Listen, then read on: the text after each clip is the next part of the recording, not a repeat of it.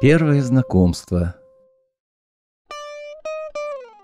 Русский для тех, кто знает немецкий. Перед вами индоевропейские языки Евразии. В эту группу входят италийские языки, кельтские, балтийские, индоиранские языки, а также албанский, армянский, греческий язык.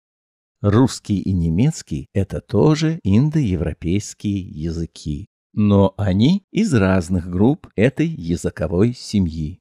Русский – из группы славянских языков, а немецкий – из группы германских. Перед вами некоторые германские и славянские языки. Есть и другие. Давайте послушаем песню и переведем ее на немецкий. Пусть всегда будет солнце. Солнечный круг, небо вокруг, Это рисунок мальчишки.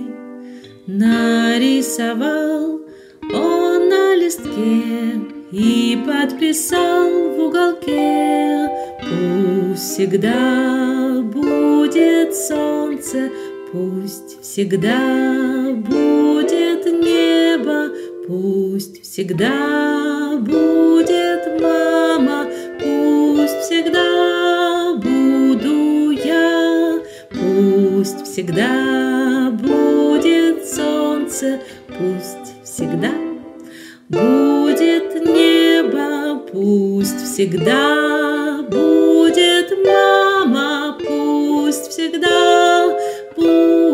я.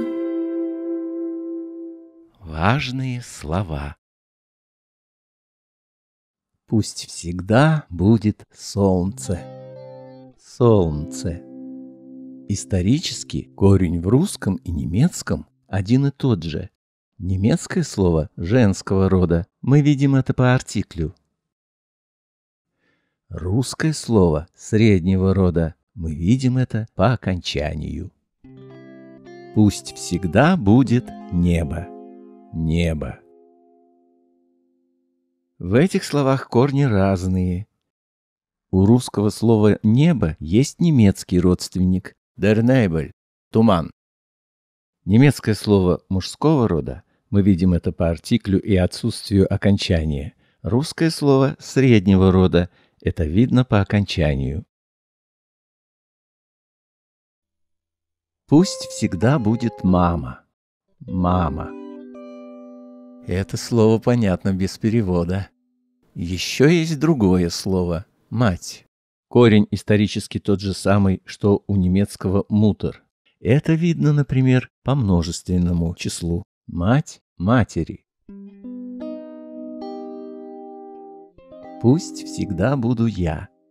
Я. В обоих языках это личное местоимение первого лица единственного числа. Местоимение «я» в латинском, греческом, английском, немецком, русском и других индоевропейских языках имеет разные, но родственные формы. Пусть всегда буду я. Всегда. Корни у русского и немецкого слова разные – Пусть всегда буду я. Пусть буду. Пусть будет. Буду и будет – это форма глагола «быть». Помните, как у Шекспира в «Гамлете»? «Быть или не быть?»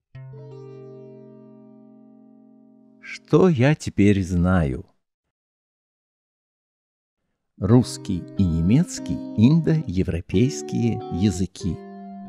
Немецкий – язык германской группы, русский – славянской.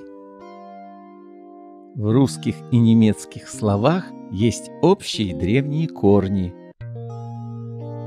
В русском языке нет артиклей. Грамматическая информация содержится в окончаниях русские существительные пишутся с маленькой буквы. Постскриптум.